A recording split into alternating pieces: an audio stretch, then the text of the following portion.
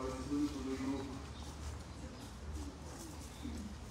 Preamăsărnice Părinte Noroc, Preamăsărnic Părinți, împreună Mântuitor, în această zi de mare praznic pentru parodia dumneavoastră, iubiți credincioși și credincioase, Biserica noastră premăritoare prăznuiește în fiecare an, în această mărită zi de 29 iunie, două nume, a căror rezonanță este mai puternică decât a tuturor celorlalte nume înscrise în calendarul Sfințeniei creștine. Îi prăznuiește pe Sfinții Apostoli Petru și Pavel, ocrotitorii acestei parohii și acestui sfânt lăcaș. Și nu numai,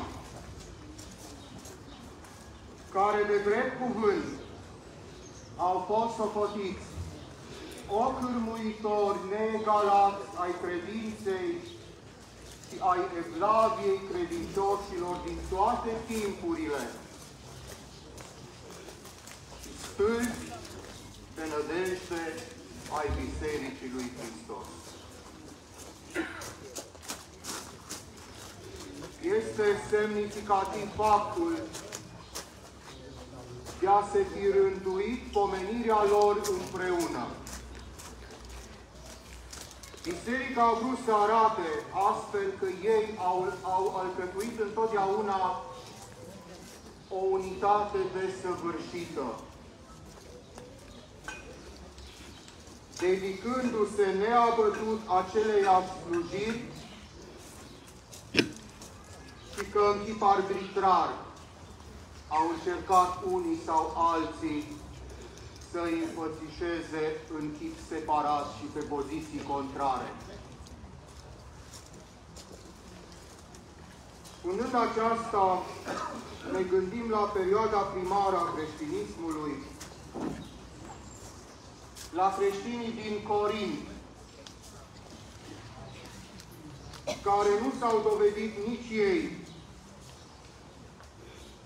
să prețuiască bogăția nesfârșită a darurilor izvorâtă din jertfa lui Hristos pe cruța Golgotei.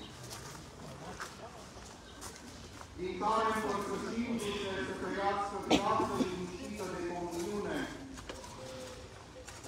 se tulburau pentru pelurite pricii și se împărțeau între ei, numindu-se unii ca fiind creștini ai lui Pavel, fiindcă el i-a adus la dreapta credință, iar alții ai lui Petru, deoarece îl socoteau pe acesta cu mai mare autoritate în rândul ucenicilor Domnului. În sfârșit, ne gândim și la timpurile mai târzii ale istoriei creștinismului,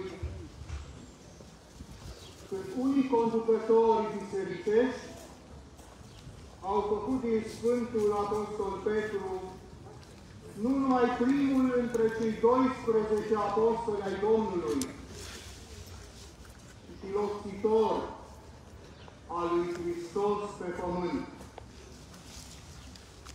Și când unii reprezentanți ai unor pretinse școli creștine l-au declarat pe Sfântul Apostol Pavel, întemeietorul de fapt al religiei creștine,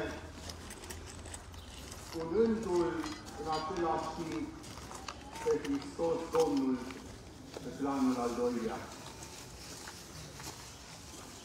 Lipsa de adevăr de temei și caracterul exagerat al unor, al unor astfel de atitudini față de acești doi mari apostoli ai Domnului Hristos se desprinde din spusele Sfântului Apostol Pavel, care zice următoarele. Așa, să ne socotească pe noi fiecare om, ca slujitori ai lui Hristos și ca economi ai tainelor lui Dumnezeu. Într-adevăr, așa au fost cei doi apostoli. Slujitori neobosiți ai lui Hristos și economi desăvârșiți ai tainelor lui Dumnezeu. Pe Domnul Hristos l-au slujit ei cu timp și fără timp. Cu tot zelul și dăruirea pe care au fost în stare.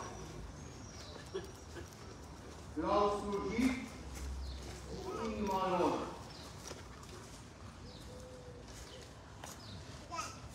L-au slujit cu gura lor, din care nu a ieșit, nu a ieșit niciodată cuvinte de bună și de necinste, ci întotdeauna cuvinte de binecuvântare și veni încurajator spre mai bine. L-au slujit, am putea zice, cu viața lor întreagă, cu sufletul lor curat, dar și cu trupul lor, pe care l-au încovoiat și l-au supus la tot felul de lipsuri și de chinuri și de încercări pentru învățătura cea dreaptă și folositoare izvorâtă din Evanghelia lui Hristos. Atât de mult l-au slujit Sfinții Apostoli Petru și Pavel de Domnul, încât s-au simțit îndreptățiți a zice N-am ținut seama de nimic, nici n-am pus vreun preț pe viața noastră, numai ca să împlinim calea noastră și slujba pe care am primit-o de la Domnul Iisus de a mărturisi Evanghelia Harului lui Dumnezeu. Dar nu numai cu viața lor, ci și cu moartea l-au slujit pe Mântuitorul, căci nici unul dintre Sfinți nu au împlinit toate mai desăvârșit decât ei cuvintele Domnului, care zice,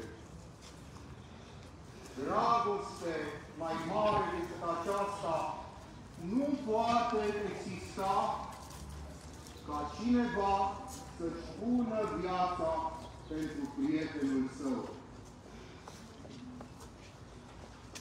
Prin moarte, iubiți credincioși și credincioase, ei au pecetuit toată strădania vieții lor închinată Domnului Hristos, dovedind,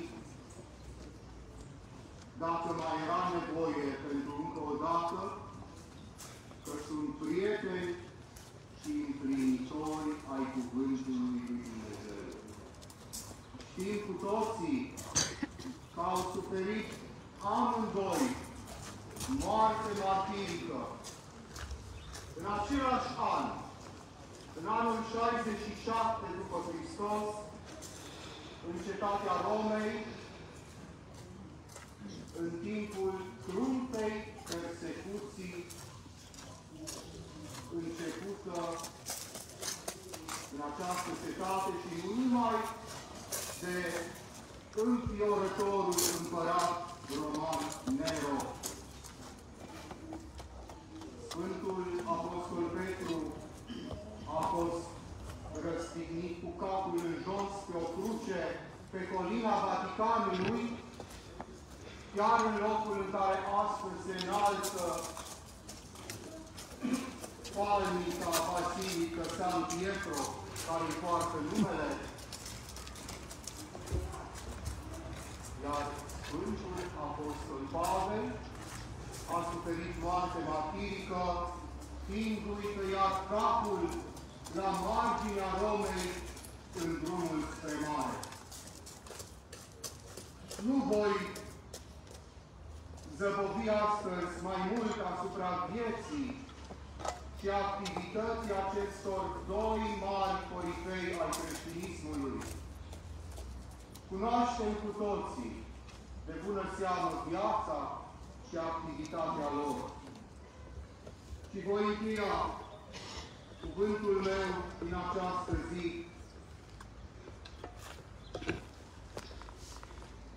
rugând pe Sfinții Apostoli Petru și Pavel al lui Hristos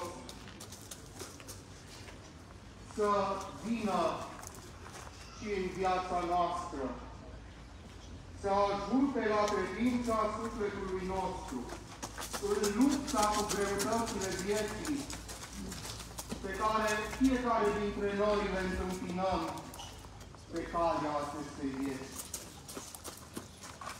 Pentru binele nostru și al neamului nostru creștinesc. Și să-i rugăm să mijocească înaintea tronului lui Dumnezeu, înaintea tronului Ceresc, spre iertarea păcatelor noastre, a tuturor celor ce servează cu credință și cu dragoste menirea lor în această mărită zi. Amin.